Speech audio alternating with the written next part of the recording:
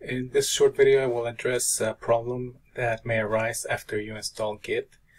I'm going to run the Git bash dashboard and uh, what may be happening is that Git still doesn't know who you are and uh, maybe when you typed in the commands that I showed you in the previous video which were git config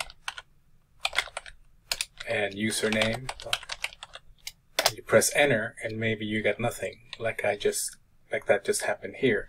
The same thing may be happening with your email.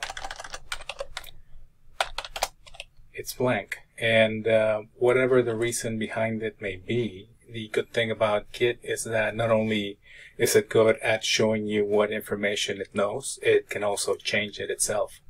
So I will use another git command which is a git config and then dash dash global.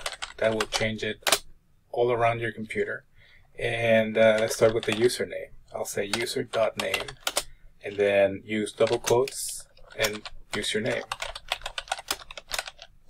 Type in my name and I'll press enter.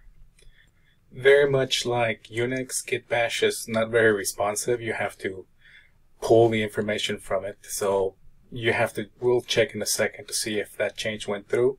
Before that though, I'm going to do uh, another command that's just like the one I use. So I'll repeat the function except it will be for email.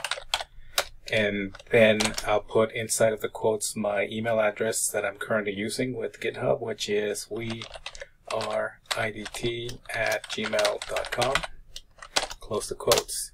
Now I'll ask again using the uh, git config user name what is my name? And it repeats it back to me and I'll do this once more with my email. And now it knows what my email is.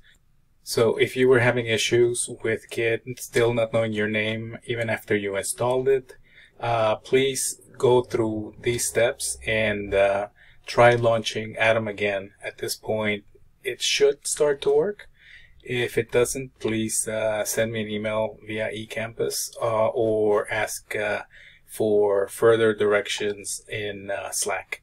Thanks.